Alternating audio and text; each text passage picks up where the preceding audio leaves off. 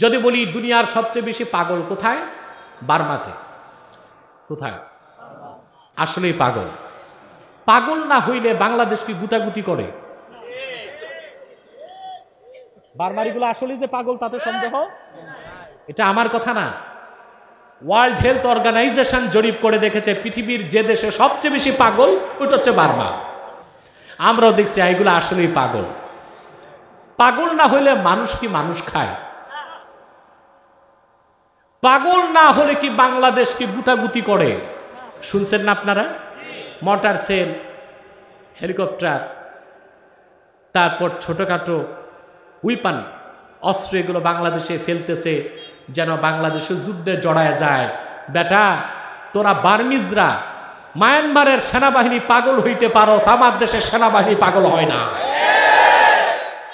তবে বাংলাদেশের সেনাবাহিনী আর ইমানদার মুসলমান পাগল ঠিক করার ঔষধ জানে। লাখো বাঙালির মুসলমানের রক্তর্জিত বাংলাদেশের স্বাধীনতায় যদি এক ইঞ্চি জায়গায় সার্বভৌমত্ব লঙ্ঘন করার চেষ্টা করো, সেনাবাহিনী লাগবে না। দেশের স্বাধীনতা রক্ষায় বাংলাদেশের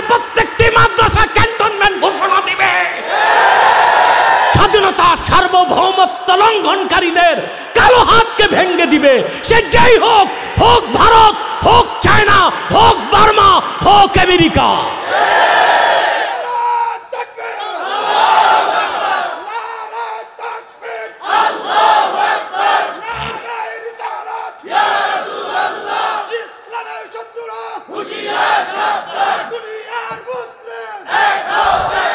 প্রিয় ভাই ও বন্ধুগণ,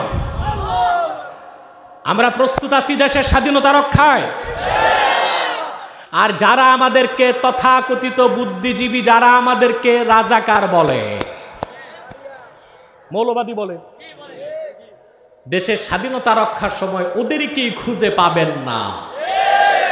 যেমন যেমন, না, কোন চোর এটা বলি না। আমি একটা উদাহরণ দিচ্ছি।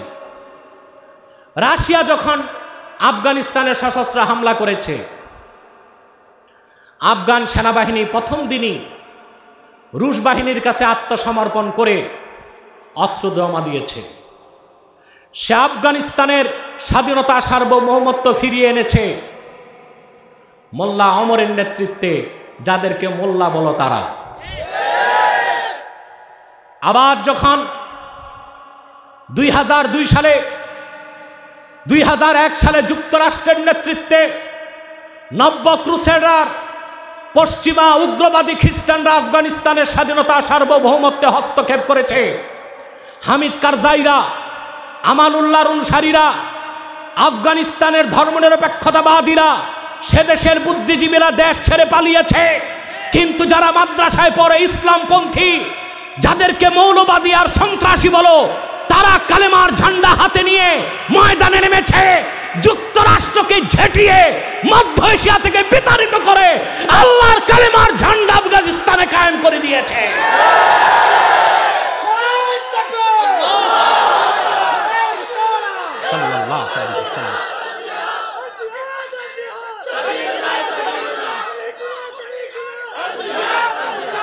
প্রিয় সুদী প্রিয় সুদী সেই জন্য বলি, যারা টক শোতে বসে মাদ্রাসায় সন্ত্রাস খুঁজো।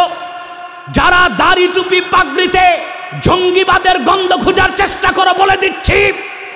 এই দেশের আলেমরাই বাংলাদেশের স্বাধীনতা সার্বভৌমত্বের একমাত্র রক্ষক।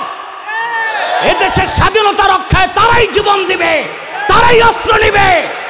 এদেশের মুসলমান ভারত, আমেরিকা, চায়না, বার্মাকে ভয় পায় না। তারা একমাত্র আল্লাহ তালাকে ভয় করে, তার গোলামি করে।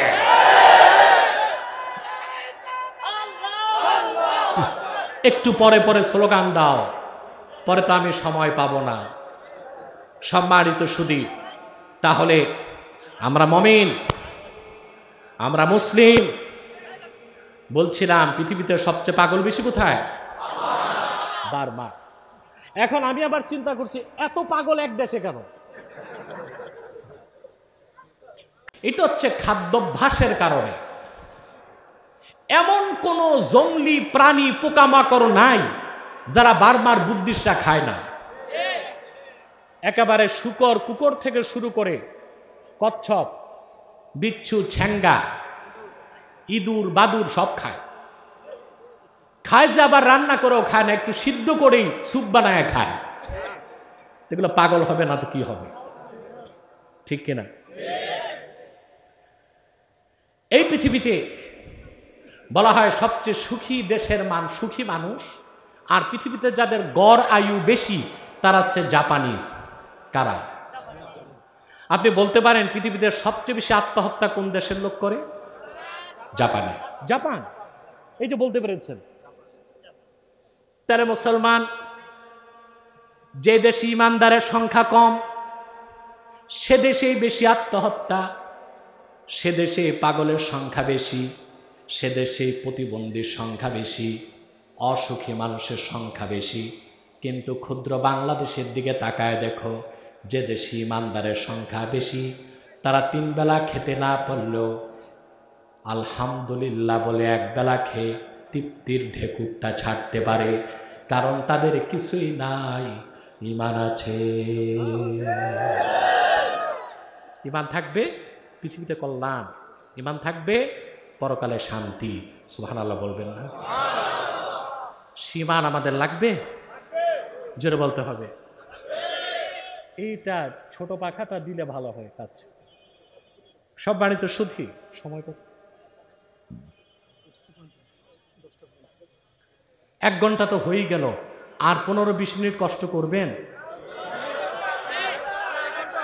এখানে। শোনেন শোনেন শোনেন, আমি একটা কথা বলি। কথা তো শুনবেন। এত দূরে না, একটু পিছনে। আমি একটা কথা বলি আপনাদেরকে। আমি আগেই বলেছি, কথা বলার দুই নীতি। কম সময়ে বেশি কথা, বেশি সময়ে কম কথা। আজকে আমরা বলব কম সময়ে বেশি কথা। কারণ কথা কম, সময় বেশি, কথা তো মনে থাকবে না, বাড়ি যেয়ে সব ভুলে যাবেন। ঠিক কিনা? কথা বলে না। ওই যে দেখেন না, বক্তা ওয়াজ করে গেছে।